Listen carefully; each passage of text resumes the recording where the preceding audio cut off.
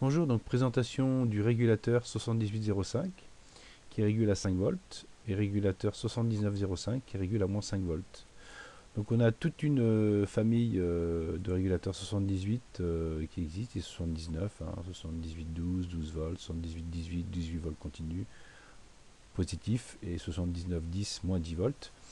Donc on voit que là on alimente le régulateur en 12 volts à l'aide d'une batterie. Voilà, condensateur film plastique et électrochimique. Voilà, et on régule à 5,01.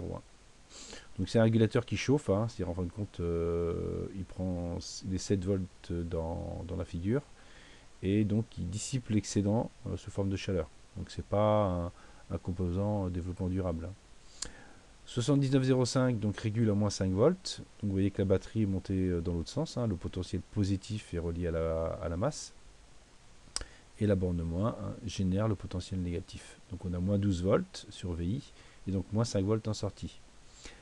Alors, si vous voulez éviter d'utiliser des régulateurs qui chauffent, hein, vous pouvez euh, utiliser la famille des Traco Power, chez Farnell, le TSR 2450. Donc là, c'est un régulateur Asher qui, pin à pin, euh, remplace le 7805. Et donc, euh, il peut fournir jusqu'à un courant de 1 ampère.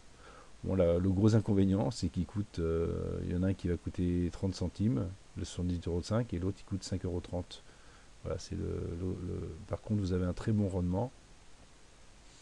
Euh, tension d'entrée max, il peut excéder jusqu'à 36 volts. Min, il faut au moins 6,6 volts en entrée.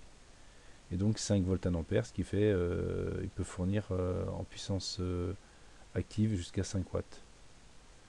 le rendement tout, tout, tout, tout, voyez on remplace les régulateurs euh, de la famille 78 et un rendement de 96%, c'est-à-dire en fin de compte il ne chauffe que il chauffe très peu. Voilà. Voilà, après vous avez toute une gamme de tensions, euh, toute la famille des Traco Power euh, en régulateur positif.